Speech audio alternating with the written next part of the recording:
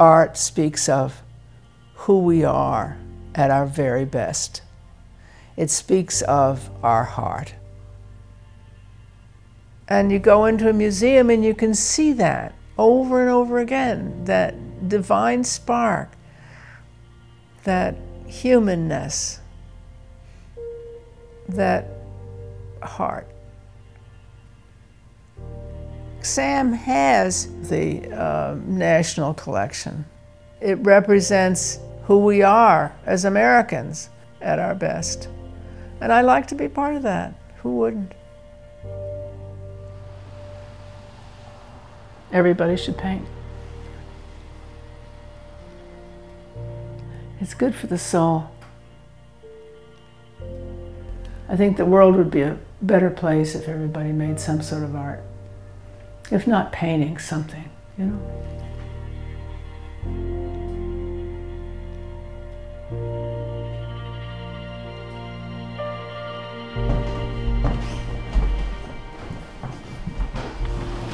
The next painting I do, I haven't started yet. I'm going to do a, a scene from uh, the North Ridge of the Grand Canyon. It's important that I experience places. It's like if you haven't been there, you don't know how it smells. You don't know how it really looks. And I do take photographs, a lot of photographs, a lot of drawing. Another reason I like traveling to these remote areas is that there is a silence that we never have here. Never.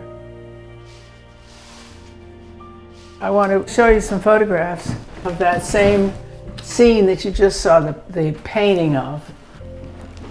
I make a collage out of the photographs.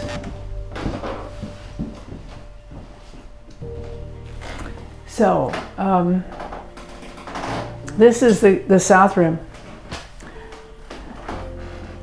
I think the patterns are not only an indication of the people who live in that area, they're also beautiful. And this pattern is a Havasupai. To have this rather static, bold pattern against this very biomorphic, very naturalistic shapes I like the way it plays against one another. I want people to stop and think about the fact that this is native territory. Of course, it's thought of as national park land, but it was Indian Nation land, you know. And I also want people to think about how beautiful our land is, how, how beautiful our planet is. My paintings are about a slow gaze and experiencing the quiet and solitude of a place. This is the Atlantic Ocean. It's called Seal Rock Storm. How absolutely beautiful the ocean is and how complex. It's challenging. And I like challenges. May I show you something? I did this Let's hang it up. I did this in 81. It's a painting on paper.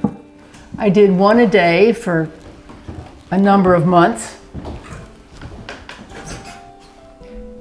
It's about 40 years, isn't it, between those two paintings? It's sort of stunning, isn't it? The difference. Throughout my career, I keep doing different things and trying different things and trying different subjects and uh, because it seems like it's keeping me alive. You know, it's, it's stimulating to be challenged by something as complex as the Grand Canyon or even the ocean. I think we put everything we are in the paintings um, so that whatever you are at that moment is coming through.